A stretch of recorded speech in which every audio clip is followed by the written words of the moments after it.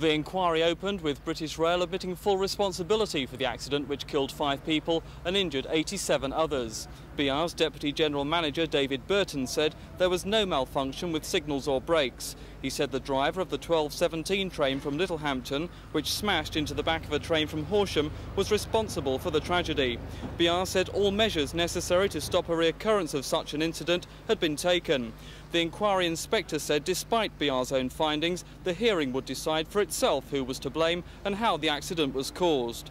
More than 30 witnesses are expected to give evidence to the inquiry, which is due to last two weeks.